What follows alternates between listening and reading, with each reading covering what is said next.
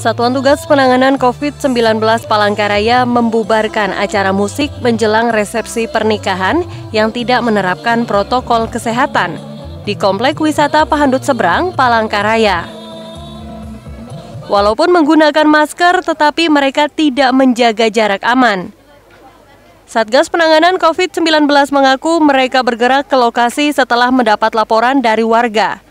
Untuk meminimalkan penyebaran COVID-19, Satgas meminta permainan musik dihentikan dan warga yang berkerumun diminta untuk membubarkan diri kembali ke rumah masing-masing. Usai diberikan imbauan untuk membubarkan diri, puluhan warga dengan tertib meninggalkan tempat acara tersebut. Untuk memastikan kejadian yang ada tidak terulang lagi, Satgas juga memanggil keluarga pasangan pengantin untuk diberikan teguran dan imbauan. Karena selain kegiatan tidak menjaga jarak aman, kegiatan juga sudah melewati batas waktu yang ditentukan.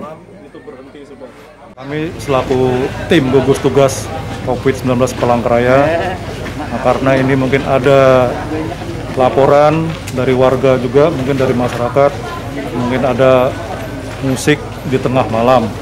Nah, karena sesuai kita rapat itu diperbolehkan, silakan ada organ tunggal Nah, misalnya ada acara nyanyi masih diperbolehkan sampai pukul 21.00.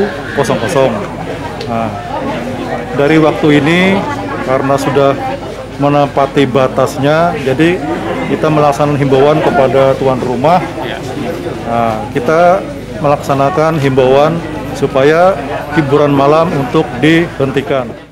Sementara itu, data dari Satuan Tugas Penanganan COVID-19 Kalimantan Tengah per 19 Desember mencatat, di Palangkaraya sudah ada 1.788 warga terpapar COVID-19.